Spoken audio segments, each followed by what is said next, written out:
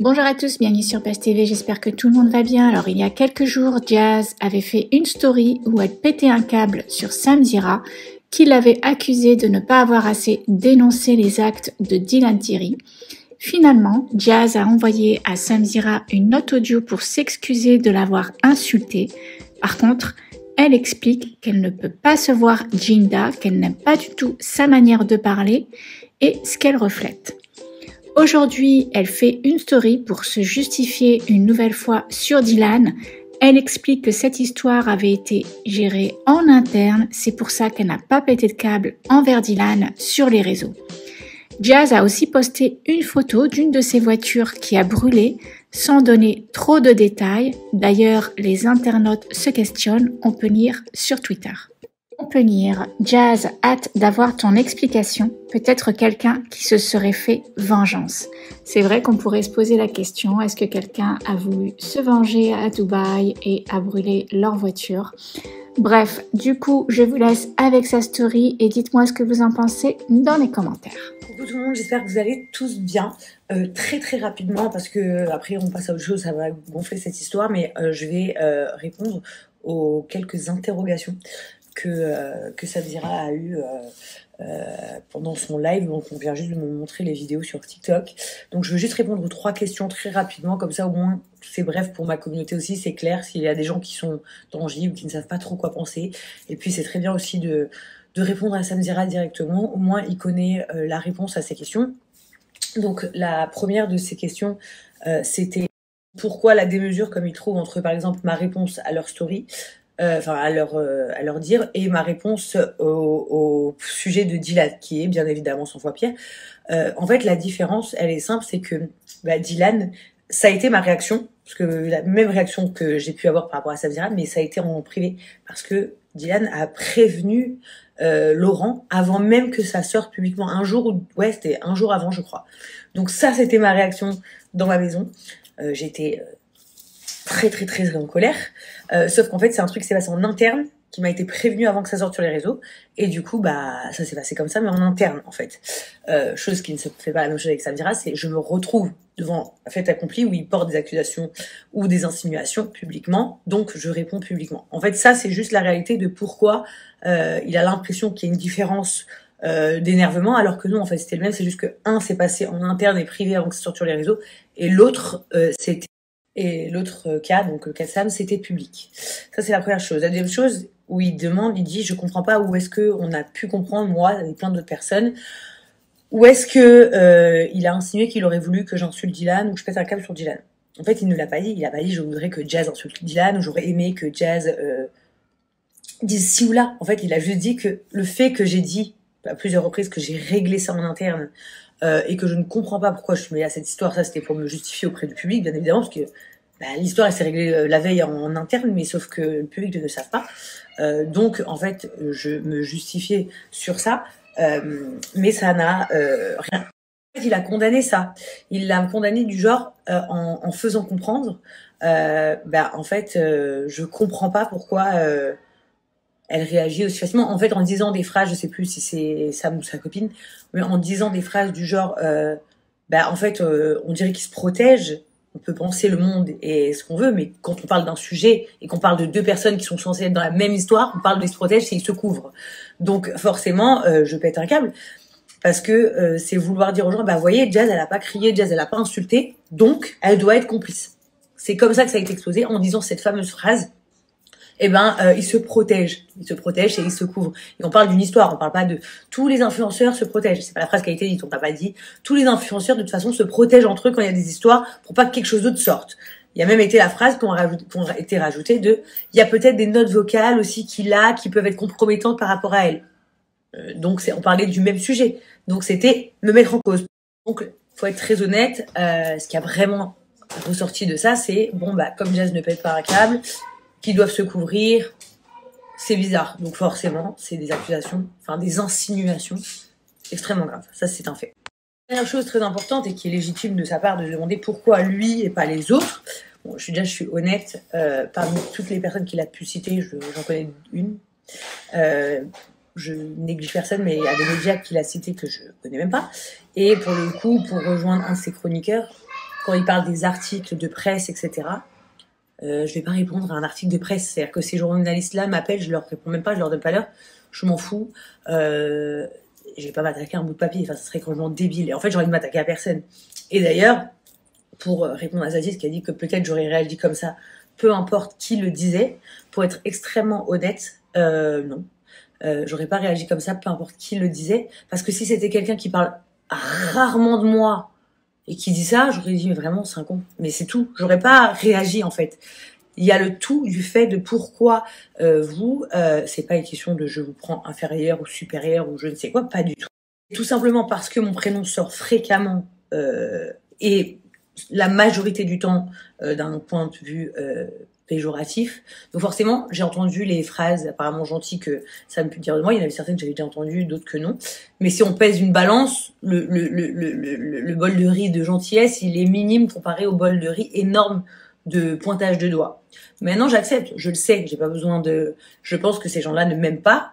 Euh, soit. Mais ce que je veux dire, c'est que je pense euh, ne jamais avoir été injuste en fait. Et le fait que, comme je disais au préalable, il côtoie mes amis, etc.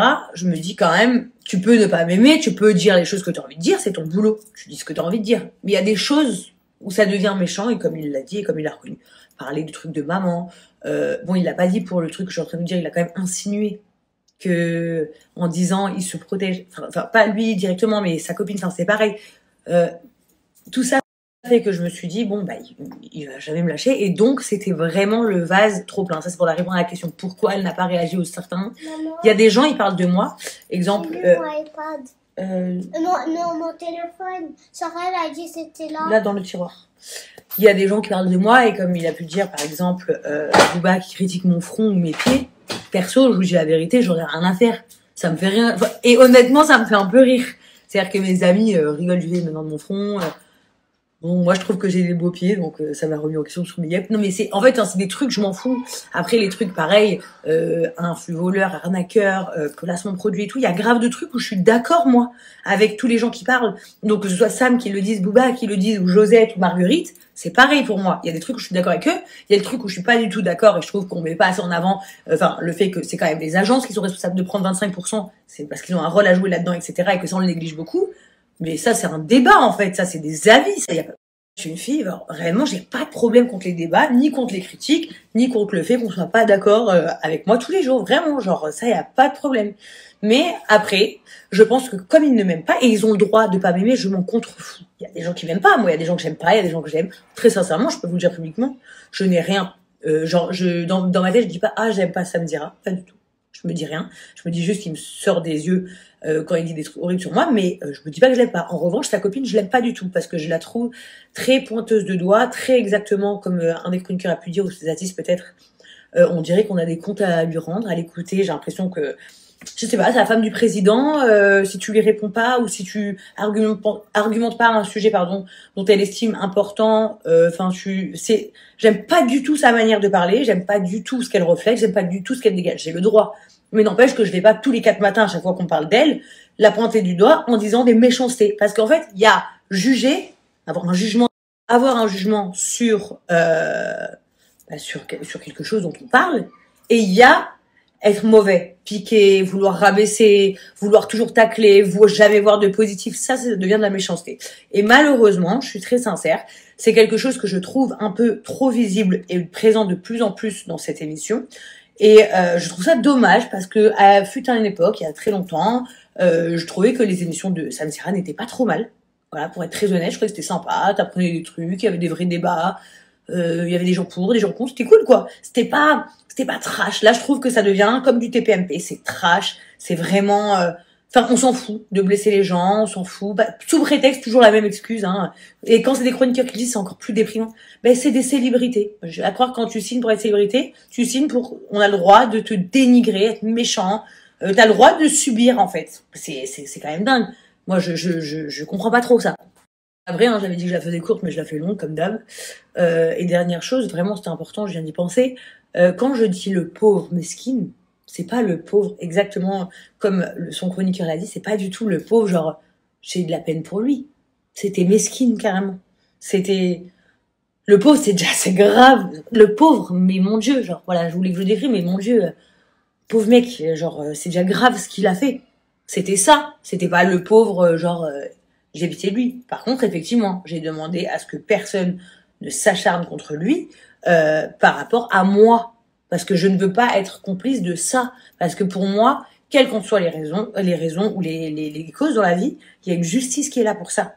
Et au-delà de la justice, il y a le bon Dieu qui est là pour ça. C'est pas à moi, Jazz Correa, de faire la loi pour qu'il soit, comme vous l'avez si bien dit, à l'époque, vous avez trouvé ça très noble du fait que j'avais jamais euh, parlé ou voulu euh, raconter ou témoigner sur les histoires par rapport à concernant euh, Maëva et Nabila, tout ça, l'histoire de chez moi, alors qu'on était très très très loin d'être des amis, mais parce que je trouvais ça inutile, c'est des trucs qu'on a réglés en privé en fait, donc je trouvais ça inutile d'en faire un fromage sur les réseaux comme si ça allait m'aider à, me sauver de mon cas ou ou à régler l'histoire. Ben là pour Diane pour le coup c'était la même chose.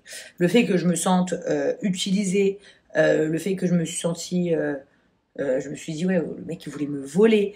Le fait que je me suis dit attends il m'implique dans un truc très très grave. Tout ça qui m'a mis hors de moi en fait je me suis dit ça va changer quoi de laver mon linge sale en publiquement le lyncher à part que les gens vont attiser mais les gens qui m'aiment moi vont aller le l'insulter ça n'avait aucun intérêt. Donc le fait que Laurent et Diane ont parlé en privé qu'après j'ai parlé avec Diane je lui ai dit le fond de ma pensée et on en est resté là parce que de toute façon, qu'est-ce que je vais faire? Je vais pas aller, comme j'ai dit, lui casser la gueule. Bah, en fait, c'était pour moi la chose la plus normale à faire, pour être très honnête. Donc le pauvre, c'était, euh, il s'est assez mis dans la merde tout seul. J'ai pas besoin d'en rajouter. Vraiment, c'était pas la peine quoi. C'était vraiment ça. Donc je pense que j'ai fait le tour euh, des questions. Honnêtement, j'ai répondu d'ailleurs à plus de trois questions. Euh, voilà, je, pense juste, euh, j'ai pas de conseils à donner, mais je vais en donner un quand même, puisque tout le monde, par exemple, eux se permettent de donner des conseils, de dire des choses. Je pense que si j'ai un conseil à leur permettre, c'est de dire que, bah, en fait, s'ils aiment quelqu'un ou qu'ils aiment pas quelqu'un, euh, ça ne les regarde que eux. Euh, quand on fait ce genre de métier, blogueur, journaliste, chroniqueur, tout ça, on se doit d'être impartial. je pense pour être juste. Voilà, parce que sinon nous ne sommes pas justes. Si vous prenez votre enfant et l'enfant de quelqu'un d'autre qui se bagarre au parc, forcément votre cœur penche pour votre enfant. Mais si vous ne montrez pas impartial et juste entre les deux, alors qu'il y en a un qui vous aime à la folie, l'autre que vous ne connaissez pas et vous en foutez ou que vous n'aimez même pas, euh, bah, ça devient de l'injustice. Donc forcément, euh, être impartial, ça c'est un fondement euh, principal, je pense, dans leur métier à faire et malheureusement dans la vie aussi. Ah, très honnêtement, dernier petit mot de la fin. Euh, cela n'arrivera plus jamais que, que je m'énerve comme ça ou que les choses sortent de mes pensées, même s'ils redisent des choses, par exemple, encore pires, monstrueuses sur moi ou des choses horribles parce que, en fait, finalement, vous voyez, comme quoi ça ne porte strictement à rien de positif de faire ça. Euh, oui, effectivement, après, je sais, j'ai vu la tête de Samira quand je fais, je dis sa copine. Mais gars, je t'ai envoyé un, un message. À qui, mon cœur? Quand je dis sa copine, c'est parce que oui, effectivement, je peux pas trop me dire son prénom parce que je ne la porte absolument pas dans mon cœur. N'empêche que comme je ne la porte pas dans mon cœur, je ne passe pas ma journée à dire sur mes réseaux, partout, euh, Jinda ci, Jinda ça. Pourtant, sincèrement, hein, sincèrement, je pourrais en relever des centaines de milliers de choses qu'elle dit sur plein de gens qui sont très très mal dites, très très très mal dites. Mais voilà, j'en parlerai plus. Je leur souhaite euh, une excellente continuation et euh, juste d'apprendre à être un peu juste. C'est tout. Autre sujet, euh, comme vous avez pu voir hier, c'était la catastrophe. Mais en fait, on m'a pas autorisé à, en parler. Donc du coup, je peux pas trop vous exprimer. En gros, vous avez vu, une de mes voitures a pris feu, quoi. Et complètement morte. Donc ouais, je peux vous dire que j'ai un peu les boules, normal. Et, et que, mais bon, c'est comme ça. Donc euh, en espérant que tout rentre dans l'ordre, et puis euh, une fois que ça sera fait, que ça sera rentré dans l'ordre, je pourrai vous en parler.